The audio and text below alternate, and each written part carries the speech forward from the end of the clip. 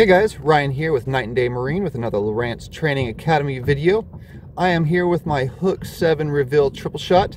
In today's video, this is part one of my sonar tutorial lesson. So what I'm going to do is I'm going to go through and I'm going to explain everything there is to know about the sonar screen on the Hook Reveal Series combo display. Now, this does not apply to the X series units as they may be slightly different as they generally have a little bit of a different user interface than the combo units that do mapping uh, like this one here. Um, and so I will make another video later um, for those X series units. But for now, like I said, this is part one of here. So um, I'm going to have the first part here on YouTube, and then the second part I'm actually going to have on my website at www.lowrancetrainingacademy.com. So go on there and check it out as well. So let's go ahead and get started. So as you can see, we have our display here. Now let's go ahead and let's first start talking about what we have on our screen before we really go into the menu options. So as you can see, we have our information scrolling. It always goes from right to left on here. And so the first thing you're probably gonna notice is all these little colored lines that we're getting on our screen. Now, this may look a little bit different than what you get just because I am sitting still. And so what's happening is that these objects in the water, these are the actual fish that you're getting right there. But what's going on is that because the fish are just sitting still directly beneath me, as my sonar image pings off of it over and over and over and over, it kind of just keeps repeating the same image. And so you just kind of get this straight line across the screen like that. Now, whenever you're moving around, you're actually going to get the arches up, up on the screen, which is kind of what you're used to probably seeing on there. But what actually creates those is as you're driving down the lake or wherever you're at, as the fish actually enters into your sonar image, it starts creating the arch, and as it goes up into the center of the beam, and then as it goes down as it's exiting and then you know once it leaves the beam you just get this nice little pretty arch on the screen. But like I said since I'm just sitting still generally I'm going to get just straight lines on here. But again generally fish aren't always sitting still. They're usually swimming around. So a lot of times you'll kind of see the little lines kind of move up and down. Now the really neat thing about this is and a lot of people call it video game fishing is that whenever you drop down your jig in the water as long as it is a large enough weight um, I usually say about two ounces is about, you know, the minimum. Sometimes it'll pick up a little bit less. You'll start to see this line draw in the water starting from the surface going down, and that's your jig.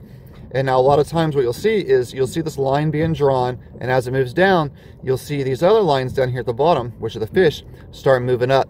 And as they kind of meet there in the center, a lot of times you'll then fill, you know, your line pull and you know, you can pull the fish right up out of the water. It's pretty neat. Uh, I recommend trying it. Now I'll go over a little settings uh, with you here in a minute on how to set that up properly. Now, but let's go ahead. Now the next thing I want to point out is your scale or your range you have here right on the right hand side. Now, with the settings that I recommend setting up with it, it's going to be on an auto range so that you should not have to adjust these. But as you can tell, these are depth markers. So I can tell that anything along the line right here is going to be 5 feet, anything right here is going to be 10, 15, and I can tell my bottom is coming in somewhere right between 15 and 20 feet. So it's really easy to be able to just kind of quickly look at it and see where objects are and how deep they are. Now you also have over here your numbers, which are your overlays. Now these values can be set up uh, by you just at a later point in time. I did show you how to do that on my uh, basics video that I put out already, but basically it's just showing that we're like here we have our SOG, which is our speed over ground, which is just your general speed. We have our depth and we have our water temp. Now these are the default overlays. These are probably going to be what you're seeing uh, right away unless you went through and changed them. Now you can make them larger, smaller, move them around on the screen anywhere you want. Now the next thing on the screen down here in the bottom left hand corner is our frequency. Now its default is going to be high chirp and if you're fishing on just kind of general lakes, fresh water, that is generally where you're going to want to have it. Now that's probably really for if you're fishing between 5 to really 100 feet. If you're going to go below or above that, you might want to run the medium chirp, uh, but you know, in most cases, people who are using these hook reveals are going to be within the, you know, the parameters of wanting to use the high chirp. Now, let's go ahead and get started on our menu options here. So all we do is we're just going to press our enter button right here to bring up our menus. So we press it, boom, pops right up. All right, so the first option is going to be our mode. Now, I'm actually going to go over that last uh, because there's a few things that I want to show you that will be affected by what we do on the rest of the menus. But so let's go ahead, let's go down and go to range. Now, actually, one thing I want to point out though is generally what's going to happen is when you first put this on your boat and you turn it on for the first time and you go in the water, what's going to happen is when you press your enter, this is actually what you're going to see right here. Your mode is going to say auto. So if we click on a mode right here, you're then going to go down and select custom right there, unless you're ice fishing, which obviously you're going to select ice fishing there, but you're going to select custom. We're going to press enter. And then that's going to give us the option for all of these different uh, menus right here on our screen. So let's go ahead and go down. The first one is going to be our range. Now I mentioned that before, the range is this number scale right here on the right hand side. Now, whenever I press enter on it, you're going to see that I get a list of choices here. Now, the unit is going to default to auto, which like I mentioned before, that is generally how you're going to want to set it. So that way, as the depth changes, as you're driving around, the unit will automatically adjust the scale for you instead of you having to manually go in and change it yourself every time, you know, it changes five or 10 feet. Uh, it's kind of frustrating to have to keep going and changing that, so it's best to leave the auto on. But if you do want to manually select it, what you can do is if you want to take it off of auto, we'll first arrow down. Well, actually, easier way is we can just arrow up, go to auto range right here. We click it off. And now you'll notice that little green indicator light in the corner went away, which meant that that feature is now shut off. And so now, if we go back to here, we can now scroll through and set it to any range we want. So like say if I want to set it to 40, you can see my scale now goes from 0 to 40 or I can even do 80, you know, but generally you want to set it just slightly deeper than the water that you're actually in. So here, if you were manually setting it, 20 would probably be about the best range for you, but the unit for whatever reason is autoing it at 30. Now it does have this other feature where you can set a custom range. So let's say you're in water in, I don't know, about 100 feet but you're only interested in fishing in waters that are about, you know, between 20 and 40 feet, what you can do is you can click on custom and you can set the parameters to only show from, let's say, 20 foot, or let's say for where we're at, let's go, let's drop it down to, if we want five foot, and then we want uh, 20 feet, that's fine. So if I hit that and I hit OK, you're going to now notice that my scale changes from 5 to 20, exactly how I set it for that custom range. So like I said, that really only comes in handy for people who are only interested in looking at the screen at a particular depth range and not the full uh, depth of the water. So let's go ahead and let's switch it back. So I can go up here and I can click it back onto auto 30, or I can go back and I can click my auto range back on.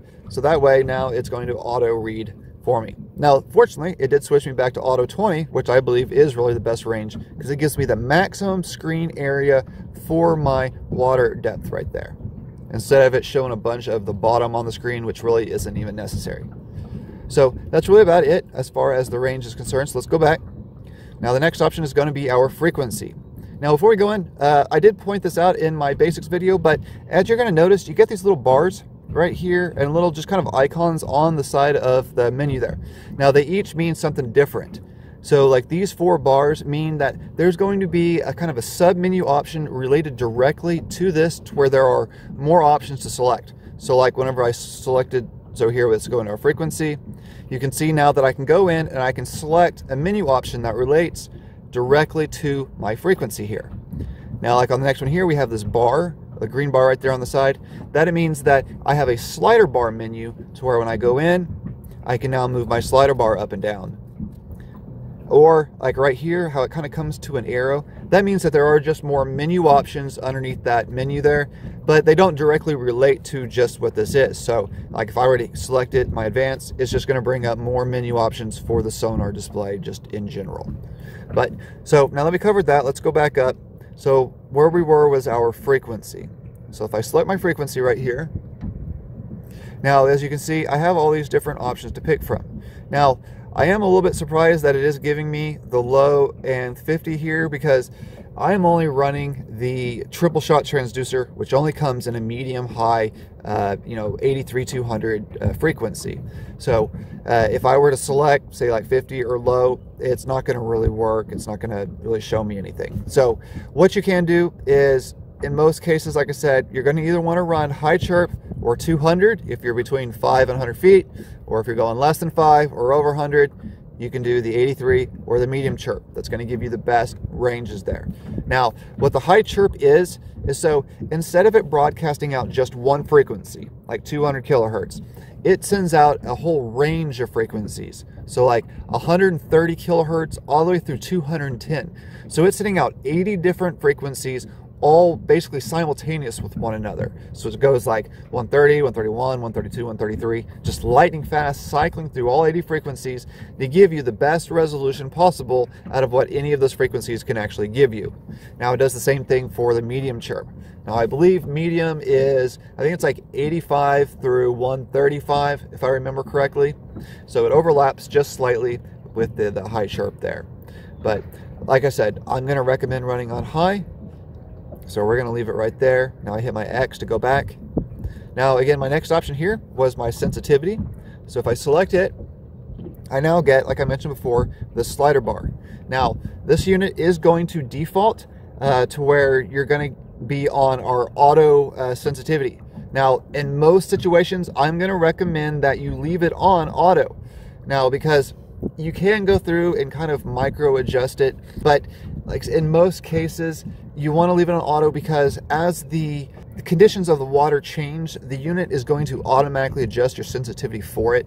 It kind of has this algorithm in it so that if the water becomes clear or more murky or has more sediment built up in it, it's going to automatically adjust the sensitivity for you to give you the clear screen that it feels that it is possible for it.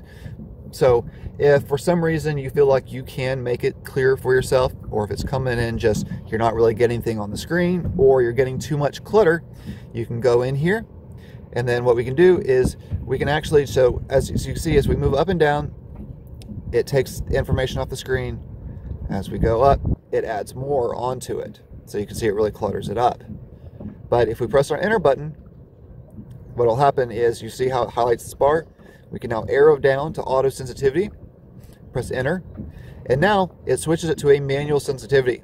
Now, one thing in these units is that anytime you see green, it means that it's in auto mode. Anytime you see something in orange, it means it's in a manual mode. Now, again, you saw that little corner disappeared, which means that that feature is now shut off. Now, if we go back up here, arrow it up once, we press enter, we can now manually adjust our sensitivity on our manual range or our manual sensitivity level. But I prefer, like I said, having it on auto. I feel like that's really the best situation for me, so I'm going to leave it right there. So let's go ahead and go back. All right, now our next one is going to be advanced. So if we go into our advanced menu, what's going to happen is we're going to press enter. And now we're going to have all of these extra options that are going to apply directly to basically the quality of the image that we're getting. Now, the first one is going to be ping speed. Now when we select it, generally what's going to happen is it's going to default to max. And so what's happening is it's telling it to send out the maximum amount of signals out of our transducer possible. So it's just pinging like crazy. But, and in most cases, that's great. But whenever you're sitting still and you're just kind of drop shot fishing, I like dropping it down to around 16 or 15. And what it does is it kind of slows it down just enough to kind of really help you lock onto those suspended targets a little better. And it, in my opinion, it helps you lock onto your jig um, as well that you have down in the water. So what I'm gonna do is I'm actually gonna drop my jig into the water right now. And we're gonna test this theory. So uh, let's see, actually, you know what? Let's go ahead. Let's raise it all the way back up here. Let's go to max. So as we can see, here's my jig dropping down into the water. As I lower it down, you can see how it's lowering on the screen right there.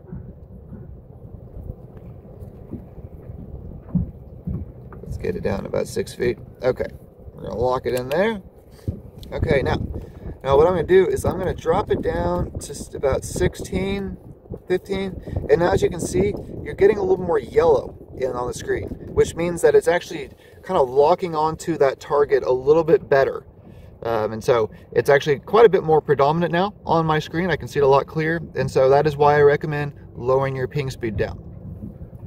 So let's go ahead. I'm gonna reel this back in for now. So I don't get caught up.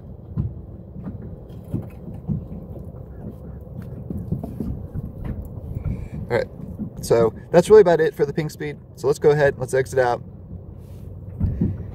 All right, so the next one is going to be our scroll speed. Now again, it's going to default to normal.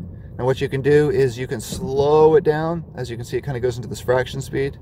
If you really want to slow it down for whatever reason, or if you want to speed it up, we can make our screen scroll faster. Now, I generally run mine on normal. Uh, sometimes I do like mine running on times two, uh, but it does kind of skimp out the imaging on a little bit, kind of thins it out a bit. So a lot of time normal is probably where you're going to want to be at. But uh, you know, if you're driving real fast down the lake, sometimes increasing that ping speed or the scroll speed will kind of help the screen keep up with itself and what it's picking up down below the boat as you're moving at a higher rate of speed. So let's go ahead, let's go back. And now the next one is going to be our noise rejection. Noise rejection is, it can be used for a couple different things. Now generally you're probably going to want to run this on low, but what it is, it's a filter for removing just kind of clutter and noise off of your screen let's say if you're just using the one unit, most likely off or low is going to be where you're at. But if you have multiple displays on your boat, a lot of times the units can kind of pick up each other's sonar signals, which is considered crosstalk, and it'll create interference on your screen. So you can go through and you can increase this value right here, and it'll help filter out that extra noise. The same also applies to like your motor or if there are other boats running around in the water, sometimes those will create, um, either it'll be static or you'll get these like black lines on the screen that'll show up. And so you can just go in, we select it, and then you can go in and you can increase it to wherever you want. Now, you might be thinking, well, why don't I just go ahead and turn on high and never worry about it? Well, because like I said, it's a filter. If you set these values too high, it'll actually filter out other things in the water that you may want to see, like fish or uh, just bait fish or, you know, maybe structure down at the bottom. So I don't recommend going too high if you don't have to. All right, I'm gonna go ahead and stop right there um, for this video. So like I said, if you wanna see part two, you wanna see the rest of this, head on over to LowranceTrainingAcademy.com and check it out, and I will see you all there.